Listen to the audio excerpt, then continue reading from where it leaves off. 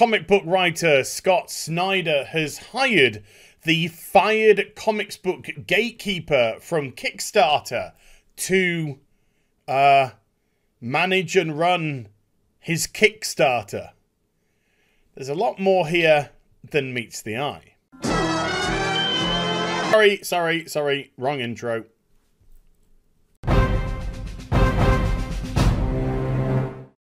Hi everyone, it's Az here from Heel vs. Babyface. Writer Scott Snyder of Batman fame has teamed up with artist Tony S. Daniel to crowdfund.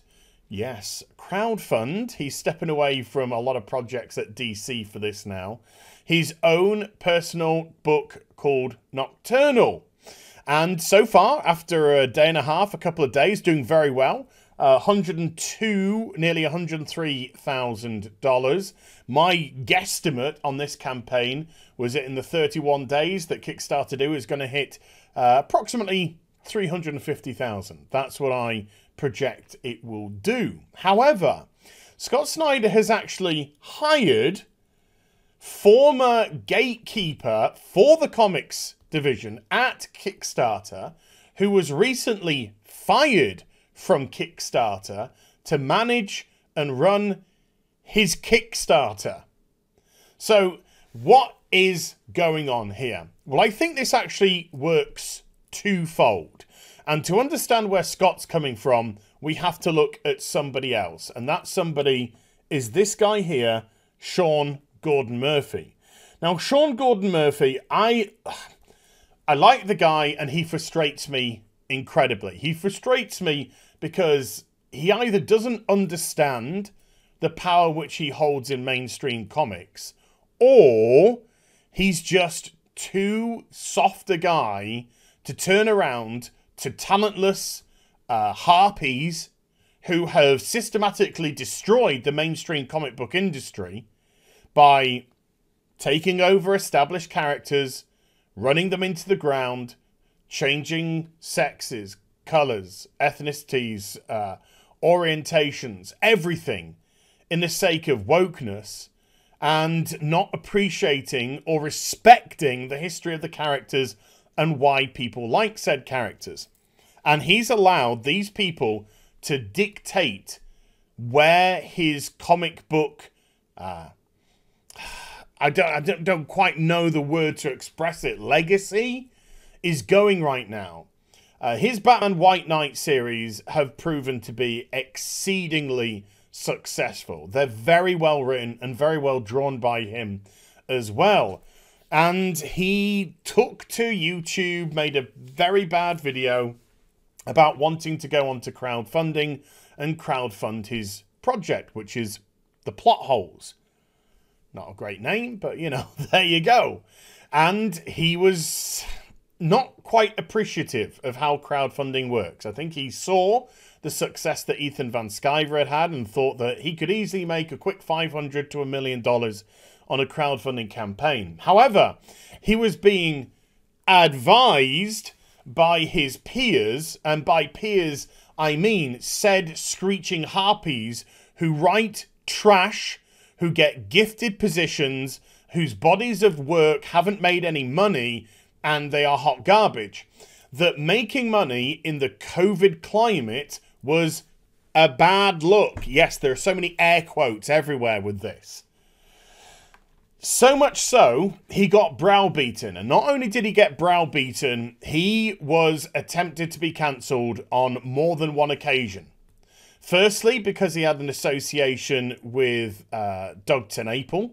He created a character for his Bigfoot uh, campaign, which got pulled. He backed down once there was pressure applied onto him. Then Mags Visaggio, uh, trash, filth person, uh, glass, somebody glass, irrelevant, nobody, trash, filth, glass, and also Kwanza, massive racist Kwanza. Uh, they all took to Twitter to openly discuss his cancellation as well. Uh, then Mags, a little bit later on, again attempted to cancel Sean Gordon Murphy by saying that he loved bom- bombed her. Love bombed. and that he had promised her um, work and monies, essentially a free ride, something that they've had the moment they stepped into this industry because of who they are, or more importantly, what they are. Not talented, I'll say that for a fact. Openly again, putting and trying to associate horrendous words next to him. Oh, I'm not saying that he anyway attempted to groom me. I'm not saying in any way that he attempted to make any advances on me. Which, of course, he would not. But they were trying to uh, plant the association next to him. It was disgusting, but as I said, they're filth. So, Scott, uh, sorry, Sean, was clearly uh, taken aback by all of this. He shrunk uh, his campaign. When I say shrunk back, he he never promoted it. There was no promotion for this. There are other things that are wrong with it. Why is it under this Jeffrey Martin guy? Why isn't it under Sean Gordon Murphy? Uh, but he never promoted it. He never pushed it. It almost felt as if he was embarrassed to have it on Indiegogo. Uh, it was almost as if he thought if he dared promote his own campaign, then they would again attempt to cancel him. And he just wanted to create his own Batverse stuff with DC, which seems to be going ahead and good for him. However, he has stepped back and removed himself now from social media. What a surprise. In actual fact, probably the best thing that he can do. He frustrated me because he could have turned around and told him to fuck off. Which is what he should have done. Which is what Scott Snyder should have done too to other people. But Scott, he took another route. He took a simp route, uh, which uh, is not good at all. So, what I think happened here is Scott Snyder saw what happened to Sean Gordon Murphy. Why? Because it's kind of partially happened to him before. Uh, when Scott Snyder was out camping with his family, yes, his wife and two boys, I believe he's got, um, there was a massive Twitter campaign to denounce Comicgate. As you do. Uh, as there has been for a long time. And we all know the true reason why the mainstream industry attempt to associate Comicsgate with all the ist, ism, and phobe words. is because they're scared shitless. It's because the people on the crowdfunding side are not playing the political games that they want to play. But more importantly, they can't control them. And this is about control. And they want to control the main people. Mags proved it when she said that Sean Gordon Murphy had promised her work, which would have meant bucks for her. Now, Sean Gordon Murphy was pleasant to her, fucking hated her probably inside, but pleasant because he didn't want a screeching harpy trying to ruin his career. Because that's what you're known for with your Whisper Network and associated harpies of filth. But Scott Snyder was away with his family, comes back, and gets attacked by Heather irrelevant bitch Antos. Nobody. Heather, unimportant, never will go down in history, Antos. And she denounced him for not speaking out. The guy was away with his family. Nobody, uh, he's somebody who doesn't live on social media like these people.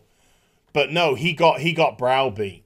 He got browbeat and had to uh, do all the denouncements. Oh no, I do not support the comics gates and but it doesn't matter because you're a man, you're a white male, and you're already guilty of that crime. And so they were always going to place a target on your back because Sean Gordon Murphy and Scott Snyder, they're the top dogs. They were pretty much the top dogs. And they want to control them. They want to get into there, they want to manipulate them, they want to get work with them because that's the way for them to get uh, stepping stones onto other things as well as a little bit of dollar as well. But then it didn't just stop there. Scott Snyder had to come out with the I won't face fuck my employees pledge that Tom King fell to his knees and started kissing the feet of all these screeching harpies about who just decided to attack anyone that he wanted. Scott, I've got no balls. Sorry, Tom, I've got no balls, King. But Scott Snyder did a little bit himself. He placated himself to Heather Antos Heather attacks Dean Cain on Twitter. Scott joins in. Then he starts tweeting her, Oh, Heather, you beat some Tuesday. Oh, ze wozy pussies. Aren't I being a good little simpass? Because these are weak men. The weak men who should be turning around to these people and going, uh, Excuse me, who the fuck are you? Who are you? Show me your numbers, bitch. Show me your numbers. I'll show you mine. I'll show you mine. Show me yours. But they can't because they can't sell comics. That's why. And I think a lot of this, from the screeching harpy side of matters, goes down to the fact that they know they're talentless. They know that they lack the talent of these people. They know that a lot of them have got their jobs because of what they are, not because of their talent. And when you've got a big ego and low self esteem, it's a cracking combination. A very destructive combination. But Scott played the game again. But as soon as he made the pledge, he gets attacked again. Oh, Scott, but it's not good enough because you were schmoozing with the Comicsgaters. Schmoozing means he was away on a camping trip with his wife and two kids by the way. As I said, there is no forgiveness. You're already guilty of being a man, a white man particularly, in the comic book industry. That is it. The judge has passed the decree of guilt. It's just a matter of time until sentenced is pa- sentence is passed. So, what do you do? How do you protect yourself from something like that? Well, this is where the second part comes in before we go to that. You see, if Scott Snyder goes on to Indiegogo, then he's going to get Sean Gordon Murphy levels of attacked and attempted cancellation. He knows that. It's going to be seen as schmoozing up to the Comicsgate crowd. It's going to seem as if he understands and appreciates that this is where the money is if you want to sell a comic. And of course, it's not about that. It's about having the right look. That's the most important aspect. So you go to Kickstarter because Kickstarter is the political platform it's the hashtag BLM platform. It's the let's hire a gatekeeper to keep the unsavory wrong side of history people out of this platform, which only makes $1.5 million for itself a year. But let's prevent us from making money that we desperately need, that we've had to sack 40% of our staff. But it's the right side of history platform for Scott. So he can't schmoozy up to the Comicsgaters. That would result in immediate cancellation for him. So he doesn't want to be seen to pandering to that side. So he's saying, no thank you, Comicsgate. By coming onto Kickstarter, I am making a statement that I am not pandering, nor am I wishing to attract Comicsgaters money or Comicsgaters or people who just buy independent comics on Indiegogo, which is actually the right way of truly saying it. I'm going to go on to the correct political crowdfunding platform that my peers in the mainstream comic book industry, who I may do work again in the future for, are like, oh, okay. All right because that's the one that Camilla gate kept. But when you hire the gatekeeper What's she going to also do for you? She's going to gatekeep. So not only is he showing the, the right signals to the mainstream industry, but he's protecting himself from the screeching harpies because he's hired a fucking screeching harpy. He's hired one to protect himself. So they can't come for Scott. They've got to go through her. Scott's giving her money. He's giving her a job. He's on the right side of history platform. He's trying to make himself immune to criticism from any side mainstream and also not signaling to the Comicsgate crowd. It's sad. I mean, I used to like Scott Snyder a lot. I used to think he's a very talented writer. Um, he kind of wrote himself out of my good graces in as much as uh, by time he was doing all the, the dark metal stuff, I, I thought it was just trash. Utter trash. But I supported it because I love Greg Capullo. I think Greg Capullo's art is absolutely outstanding. Uh, and Greg Capullo does come across as a, as a decent guy. He's got his, you know, he's got his things like all of us. Seems like a down to earth uh, kind of a chap. But writing wise, now he lost me a long time ago. But he's protecting himself from all of this. Oh boy, it's so sad. It's so freaking sad that people that just want to create comics books have to play these stupid games.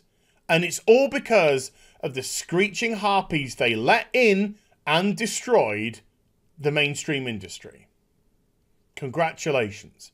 I will not be. I didn't support plot holes because of Murphy's flip flopping. Even though I wanted to, I would not. And I will not support Scott Snyder's um, campaign either. I wish him the best of luck. I like Tony S. Daniels uh, uh, Daniel artwork a lot, um, so I'm sorry about that. But I can't support somebody uh, who has been participating in this stupid, fucking anti-consumer crap. I won't. Scott and Sean both had something in common. They both could have told them to fuck off. And that would have gone a long way, a long way to preventing a lot of what has happened. Why? Because DC need them more than they need DC. Sean Gordon Murphy, he can take to Indiegogo and make $261,000 way below par for what he should have made by doing nothing.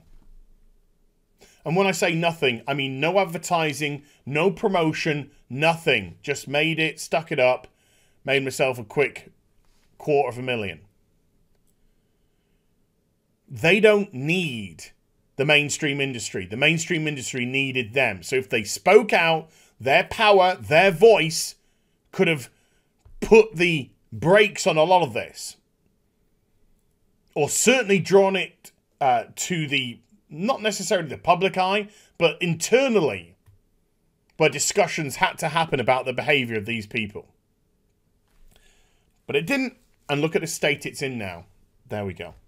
Uh, so I hope you enjoyed the vid. If you did, do give it a thumbs up and also subscribe to the channel. Follow me on social media and YouTube for live streaming 8 p.m. UK time tonight on this channel. Me and Robert Meyer Burnett we will be doing six of one again, reviewing the Checkmate episode of The Prisoner. Hope to see as many of you there as possible. I'll be back with some more stuff very soon. You take care. Bye for now.